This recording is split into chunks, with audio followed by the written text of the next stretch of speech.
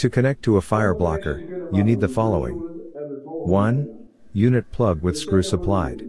2. Plug housing 3. Wire swivel. Let us unbox this.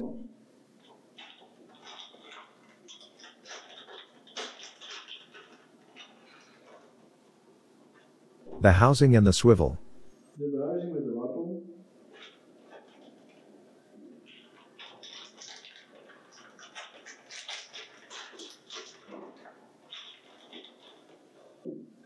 The plug and the screw. Stekker met een schroefje.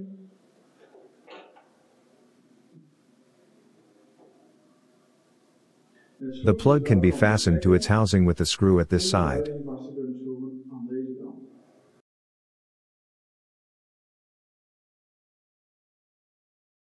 In dit voorbeeld This clip shows how to connect the connector to the housing.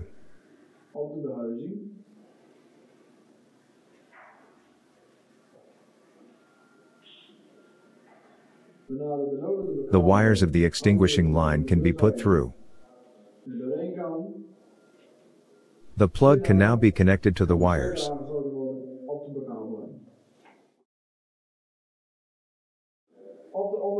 At the bottom of the plug you will find the numbers 1, 2, 3 and earth. 2, 3 en aarde.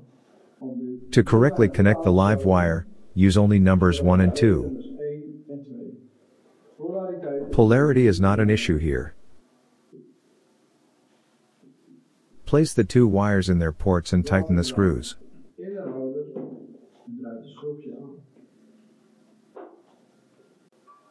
Check whether the wires are securely fastened. If this is the case, the plug can be put in its housing. Make sure that the screw thread coincides with this hole.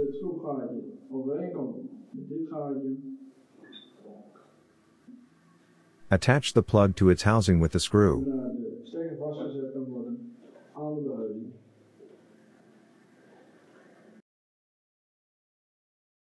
Now that the plug has been fastened, tighten the swivel to secure the wires.